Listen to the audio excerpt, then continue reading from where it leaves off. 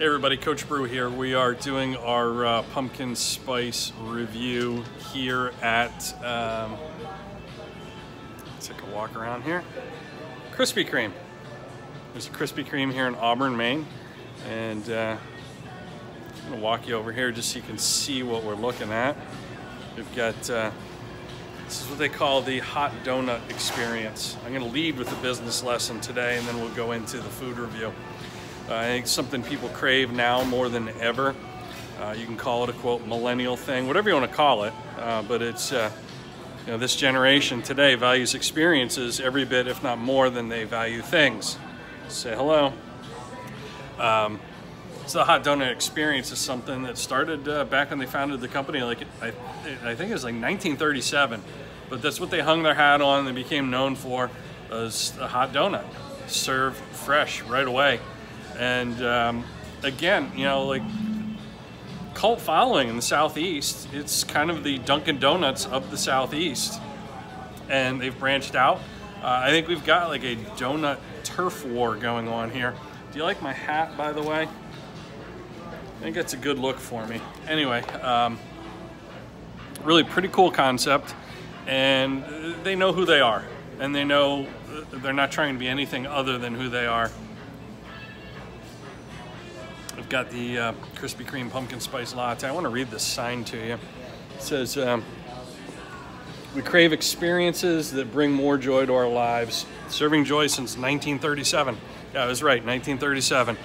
And uh, look at the joy on their faces there. The hot donut experience. That almost sounds, almost sounds erotic. But uh, we're gonna try the hot donut experience with one of these pumpkin spice donuts.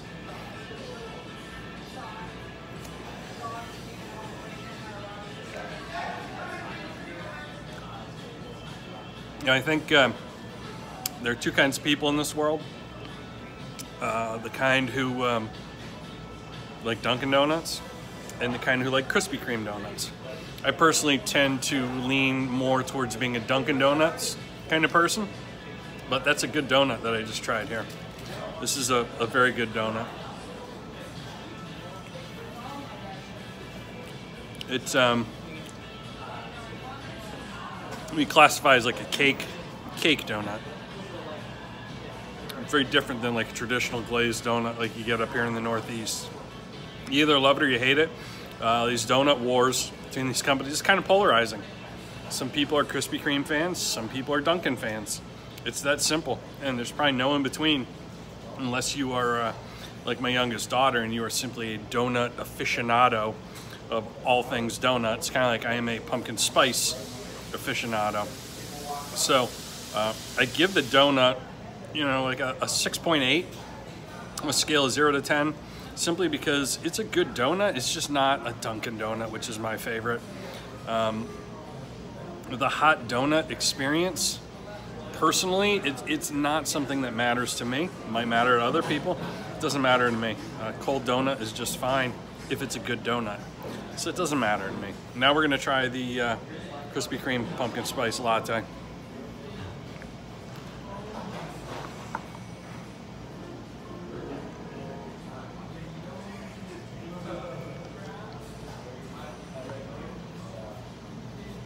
It tastes like a latte.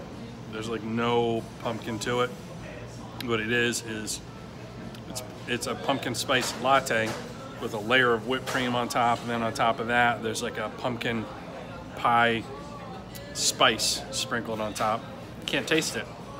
So, you know, it's again, this isn't a criticism of Krispy Kreme. It's not a coffee shop. They're, they're not trying to be Starbucks. They sell donuts, but what pairs well with a donut? Coffee. So they're gonna serve coffee. They're just not coffee experts. Look at her. Does she look like a coffee expert? She looks more like, uh, she looks like a nurse. She looks like a nurse making coffee. Does not look like a barista or a coffee expert. This, it's, you know, like, it's an average latte. Like it'd be, I don't know, like a four or a 4.5 on a good day. But you don't taste pumpkin, so it, it's, it's not what they say it is. The donut tastes like pumpkin. Uh, the um, the cup of coffee, not so much. You know, uh, they do a couple of cool things here though. They have a rewards program. Your first donut's always free when you opt in. Uh, another great lesson. You know, some people call it like a uh, ethical bribe.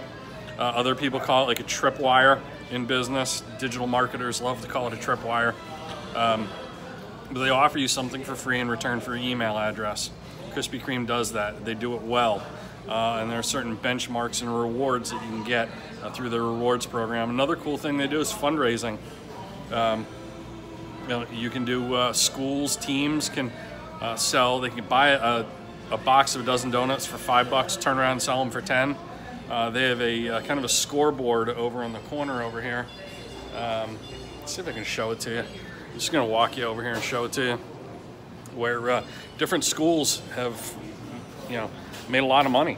So, yeah, right here. So you got one school that's made uh, uh, a music program, PTO, has made 3,200 bucks. Um, another music booster has made 2,200 bucks. Easy money. Who doesn't love donuts? You know. So Krispy Kreme's found unique angles uh, to uh, deliver their product. Um, they're experimenting with something in Greensboro, North Carolina, near the corporate parks there, um, where they had a delivery service and they would deliver boxes, cases of donuts in bulk to different businesses. Uh, out in California, they did something really neat in 2010 where they had roadside, um, instead of like having a drive up window, they actually had people roadside who had traffic lights, uh, had digital payment processing. Now, this is back this is earlier than 2010, like 2003, I believe. A digital payment processing roadside, and they would literally like hand you a box of donuts through your window or your sunroof. Um, and you know, they didn't see an adequate return on investment, so they eliminated it. But they're treating everything they do like an experiment to see what works uh, without really deviating outside of their lane and their core identity. Um, the pumpkin spice thing, probably a little bit of a deviation, but they are known for donuts and uh, they have multiple channels to create distribution. And uh, they're like one of the two signature donut companies in America because they know who they are, uh, even though she looks like a nurse serving coffee. Um, so that's a review and that's the lesson. Know who you are, stick to your core competency, and you develop, you know, uh, raving fans. People travel from, you know, throughout the country to visit the original. Think about this with your brand. You know, this is how you know you're well branded. Uh, your original location is a tourist destination. People travel from throughout the country to go to the original Krispy Kreme in Winston-Salem, North Carolina, where there is a um, a landmark on the ground outside of the store commemorating the fact that it's the original location. And people stand in line and wait outside. I know because I was one of them. I did it when I lived in North Carolina. They'll stand in line and wait outside uh, to get a donut from the original location. So think about that. Like that's dedication. That's uh, having raving fans, super fans, if you will. Um, how are you doing that with your business, uh, with your core competency? So that's it. That's the review of the Krispy Kreme Pumpkin Spice Latte and Donut and your business lesson compliments of the Dunkin' Donuts Krispy Kreme Donut Wars. Have a good one.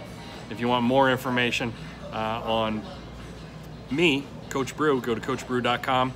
You can opt into the Daily Brew, not to be confused with this Daily Brew. The Daily Brew is my daily newsletter where I offer you a business tip to double your sales, double your productivity, uh, leadership performance. And when you do that, you go to coachbrew.com, coachbru.com, and do that. You uh, also will receive a complimentary download of my premium uh, membership site monthly newsletter, which is a $49 value. So head on over to coachbru.com. Uh, link is in the comments, and we'll see you for this next review tomorrow.